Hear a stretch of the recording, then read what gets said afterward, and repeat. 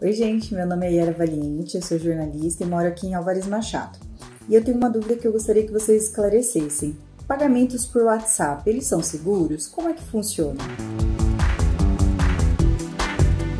Fórigo Responde chega com tudo, hoje já com a dúvida da nossa participante. Yara, muito obrigada pelo envio do seu vídeo. Bora descomplicar? O WhatsApp Pay possibilita a transferência de dinheiro entre pessoas sem a necessidade de acessar um aplicativo de banco.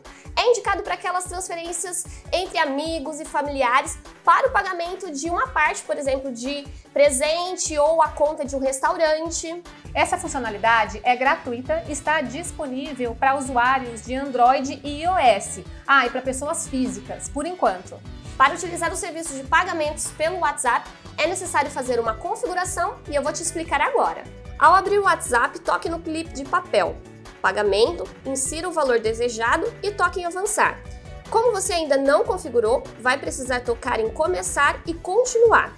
Na sequência vão aparecer os termos de uso e lá no final você deve tocar em concordar e continuar. Crie um PIN para o Facebook Pay, em seguida insira os seus dados e o cartão de débito. Verifique o seu cartão, confirme o código, prontinho, cadastro concluído. Nem todos os bancos estão participando do WhatsApp Pay e por isso a gente vai deixar um link na descrição do vídeo para que você possa conferir se o seu está lá. Quanto à segurança, de acordo com o WhatsApp, todos os seus dados bancários e dos cartões ficam armazenados e são criptografados em uma rede altamente segura. Outra coisa, para realizar a transação é preciso confirmar a operação com a biometria, reconhecimento facial ou PIN, dependendo do modelo do seu celular.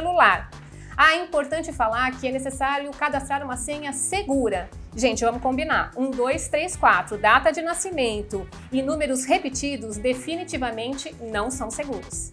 Então, se alguém clonar o seu WhatsApp ou roubar o seu aparelho, ela não vai ter acesso aos seus dados bancários e cartões, porque a chave de acesso é o seu rosto, a biometria ou essa senha. Por isso é importante que ela seja segura. Tem algumas regrinhas. Por exemplo, se eu quiser transferir 3 mil reais para Lorraine, gostou né, Lorraine? Oh. Não vai ser possível, porque existe o limite da operação que é de mil reais. Agora, para quem está recebendo, existe o limite máximo de 20 transações por dia, desde que o valor não supere 5 mil reais por mês. Uma coisa importante é que a pessoa que vai receber a transação também precisa estar cadastrada no WhatsApp Pay.